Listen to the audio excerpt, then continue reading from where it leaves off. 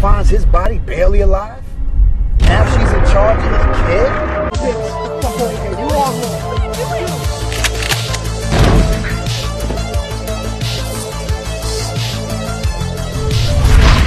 You know we keep you guys safe on the streets, don't you? Yeah. No, I don't think you know. Your lives would have been fucking ended a long fucking time ago. Officer Ray, how's that pretty little wife of yours doing? Officer, I'm a man that need answers. My son was murdered in these streets, in these woods. And you mean to tell me I can't get an answer? It's been 20 years. I come home and no one can tell me what happened to my son. Let me tell you something. I want the truth. I don't care how it happens. We need the truth. And I'm willing to take that risk. Get the fuck on the road. Get out! Why you guys Get out, yeah! Oh, I didn't do anything. When you run, we run, motherfucker. Lay 40%. I have a low, affordable monthly payment. Smartest call I ever made.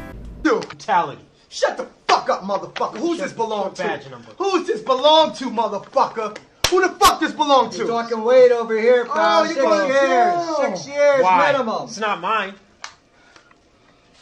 What about Desiree? You can't just leave her there. Man, you shut the fuck up back there. Pardon me for pick her ass up.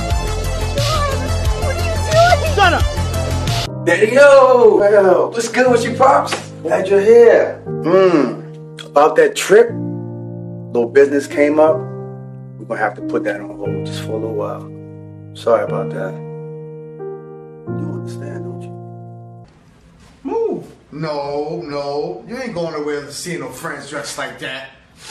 And why you got on so much damn cologne? You gonna get some pussy, ain't you? I was being missing. The streets was left to mold and raise us. I mean, but it made us men. You know, it, it taught us the game. You know, but it don't always have to be that way, man. The streets don't always have to be the ones that teach us and raise us, man. Never met a man that haven't made a mistake. That didn't cost him his life, especially one in love. Half the men I know are locked up because of some stupid. I don't want to be negative about women. I'm sorry, but you know what I mean. I knew you two would work it out in no time. Y'all make a beautiful couple. Y'all really do, and everybody knows it. Just glad to see you two worked it out. So Thank how's Uh, you. how's our guy?